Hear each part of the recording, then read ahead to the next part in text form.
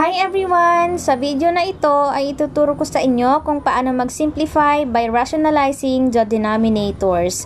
Just keep on watching! Hello mga anak shis! Welcome to Math TV PH. Ang channel na ito ay tungkol sa math tutorials, lectures, or discussions na Tagalog at Taglish na dedicated sa lahat ng mga estudyante.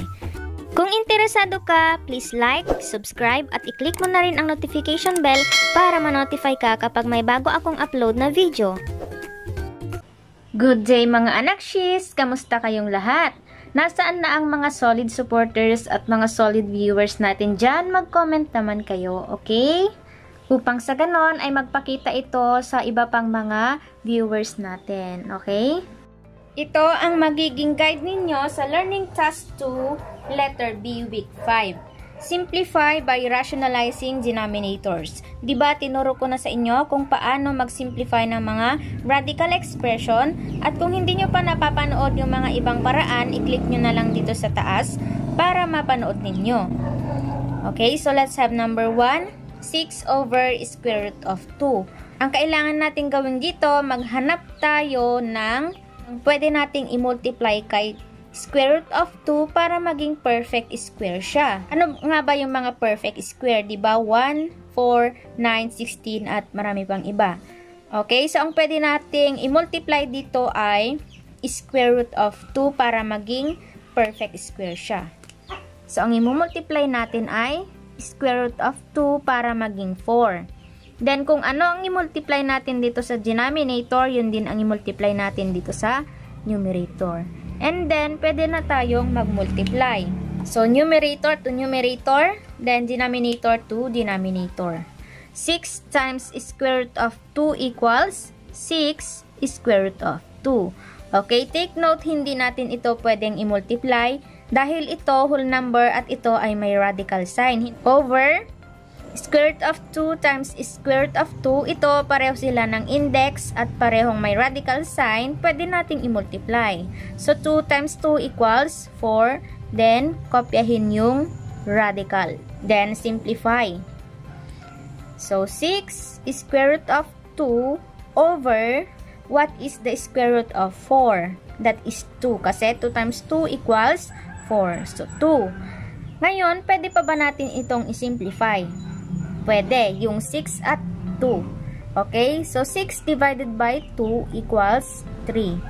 Then, kopyahin yung may radical expression. Hindi natin pwedeng i-divide ito kasi nga, ito whole number at ito may radical expression. Okay? So, let's have another example. Number 2. The cube root of 11 over 4. So, dito naman, cube root naman. So, ano yung mga perfect cubes? ba diba? 1, 8, ano ang pwede nating i-multiply kay 4 para maging perfect cube siya? Pwede nating i-multiply ang 2 para maging cube root of 8. So, cube root of 2, then ganun din dito sa taas, cube root of 2. Then, multiply. Cube root of 11 times cube root of 2. Pareho sila ng index. Pwede natin itong i-multiply. 11 times 2 equals 22. Then, kopyahin ang radical sign. Over cube root of 4 times cube root of 2. I-multiply ang radicand. 4 times 2 equals 8.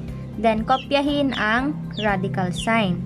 Equals simplify cube root of 22 kasi hindi naman ito perfect cube over ano ang cube root ng 8 that is 2 kasi 2 times 2 times 2 equals 8 pwede pa ba natin itong simplify hindi na. Sabi ko nga kanina hindi ninyo pwedeng i-divide na lang yung may radical expression dito sa may whole number. Another example the fourth root of 7 over 8 naman.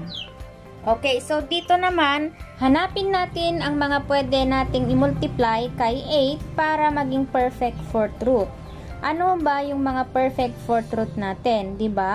Yung 1 at ang susunod na ay 16. Ano ang i-multiply natin kay 8 para maging 16? That is 2. Okay, so ang i-multiply natin ay fourth root of 2 Ganon din dito sa taas. Fourth root of 2. Then multiply. So, fourth root of 7 times fourth root of 2. Multiply the radicand. That is 7 times 2 equals 14. Then magiging fourth root siya.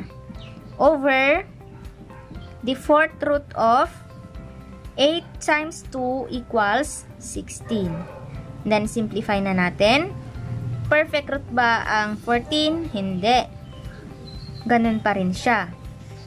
Over the fourth root of 16 equals 2. Kasi 2 times 2 times 2 times 2 equals 16. Pwede bang isimplify ito? Hindi. Kasi may radical ito, ito wala. Okay, so ito na yung final answer. Another example, number 4, 9 over square root of 7. Okay, so ito, katulad lang din siya ng number 1 natin kanina. Ano ang pwede nating i-multiply kay 7 para maging perfect square? Square root of 7. So, square root of 7, ganun din dito sa numerator. Then, proceed na tayo sa multiplication. 9 times square root of 7 equals 9 square root of 7 over square root of 7 times square root of 7 equals square root of 49. Then, simplify. 9 square root of 7 over ano ang square root ng 49? That is 7. Pwede ba nating isimplify or i-reduce to lowest term yung 9 at 7? Hindi na. Kaya ito na yung final answer. Another example, number 5, the cube root of 9 over cube root of 6. Ngayon, ano ang pwede nating i-multiply kay 6 para maging perfect cube root siya? Okay. Ang pwede nating i-multiply ay 36 para maging 216. So, magiging cube root of 36. Then, ganun din dito sa taas. Cube root of 36. Then, pwede na nating i-multiply. Okay, so the cube root of 9 times cube root of 36, that is cube root of 324 over 6 times 36 equals 216. So, cube root of 216. And then, simplify. Magiging, kopyahin muna natin to, cube root of 324 over, ano ang cube root ng 216? That is 6. Kasi 6 times 6 equals 36 times 6 equals 216. Ngayon, kung mapapansin ninyo, yung numerator ay malaki pa. So, meron akong mga tinuro, ba, para maging simplified ang ating radical expressions. Ang pwede nating gamitin ay yung by prime factorization. So, kung hindi nyo pa napapanood yun, panoorin nyo para malaman ninyo kung paano gamitin ang prime factorization. So, we have 324.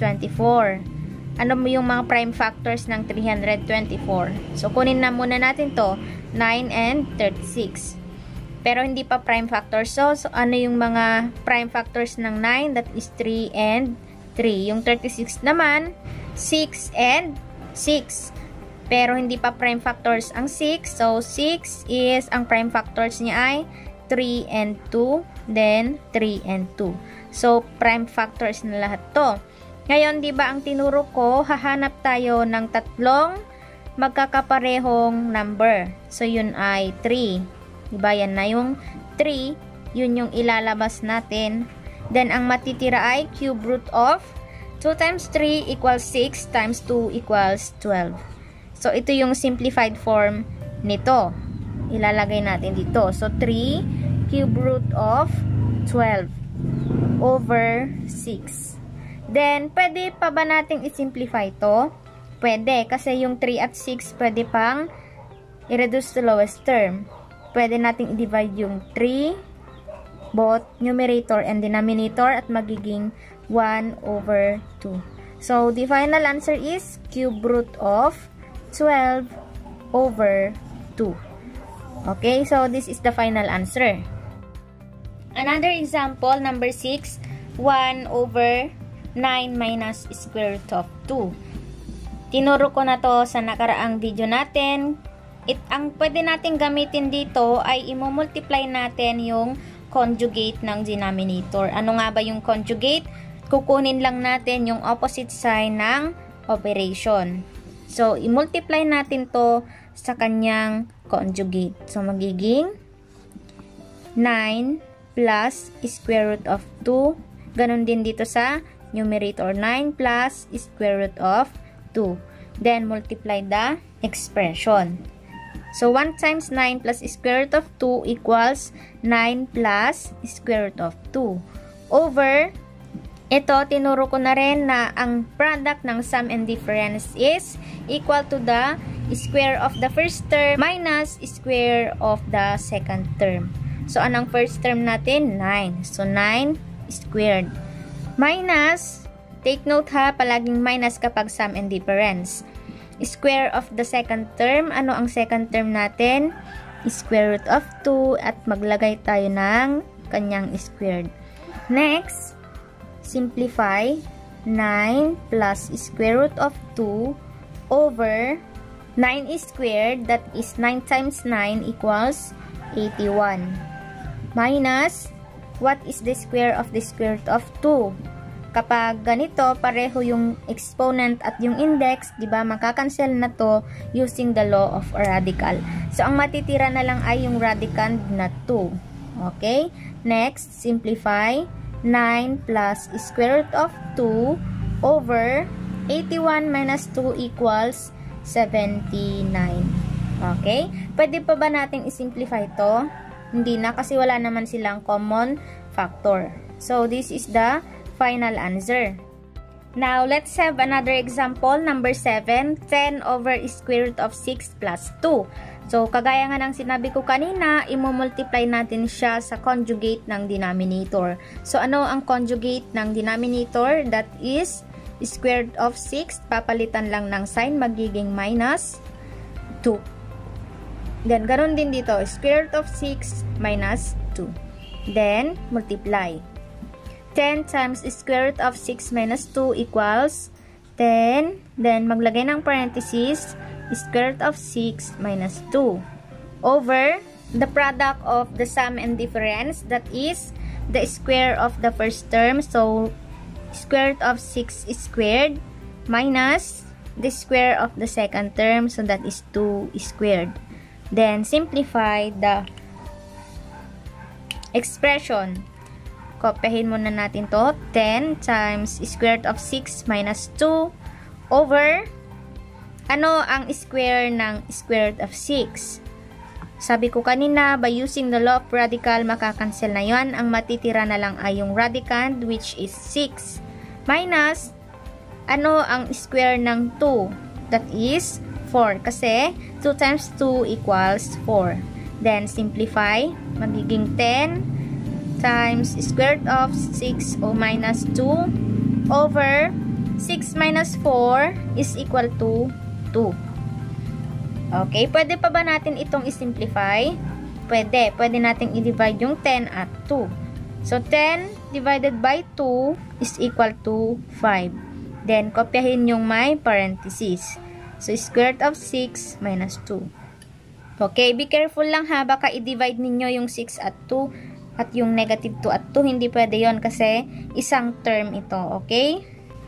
So, the final answer is 5 times square root of 6 minus 2. Or, kung gusto naman ng teacher ninyo na isimplify pa ito, pwede naman i-distribute ninyo yung 5 dito sa quantity. Okay? So, magiging 5 times square root of 6, that is 5 square root of 6. Then, 5 times negative 2 equals negative 10. Okay? So, or na lang, or. Kasi pwede ito at pwede rin namang ganito. Another example, number 8. 2 over square root of 7 minus square root of 3. So, ano ang conjugate ng denominator? Papalitan lang natin ito ng positive sign. Okay, so magiging square root of 7 plus square root of 3. Ganon din dito sa numerator. Magiging square root of 7 plus square root of 3. Then, multiply. So, 2 times square root of 7 plus square root of 3. Dito naman sa denominator, the product of sum and difference is equal to the square of the first term. Ang first term ay square root of 7. Then, kunin lang natin yung square niya. Minus square of the second term. So, square of the second term. And simplify natin. So, kopyahin muna natin to. 2 times square root of 7 plus square root of 3 over what is the square of square root of 7. By using the law of radical, makakancel na lang ito. Ang matitira na lang ay 7. Minus, ganun din dito, makakancel na ito. Ang matitira na lang ay 3. Next, simplify. So, 2, kopyahin muna natin to, is square root of 7 plus square root of 3 over 7 minus 3 equals 4. Pwede pa ba itong isimplify yung 2 at 4? Pwede, kasi divisible sila sa 2. So, ang lowest term ng 2 fourths ay 1 half. So, magiging 1 times, or wag niyang ilagay yung 1, magiging square root of 7 na lang plus square root of 3 over 2.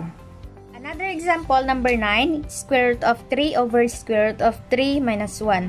So, kunin natin yung conjugate ng denominator and that is square root of 3 plus 1 and ganun din dito, square root of 3 plus 1. Then, multiply square root of 3 times parenthesis square root of 3 plus 1 over get the product of the sum and difference and that is square root of 3 squared minus square of second term. So, that is 1 squared. Ito, pwede nyo nang i-multiply dito. So, square root of 3 times square root of 3 equals square root of 9 plus square root of 3 times 1 equals square root of 3 over ano naman ang square ng square root of 3 makakancel na yan so magiging 3 na lang siya minus 1 squared is equal to 1 kasi 1 times 1 equals 1. Then simplify. Ano ang square root ng 9? That is 3 plus perfect square ba ang 3? Hindi. So, square root of 3 na lang siya. Over 3 minus 1 equals 2.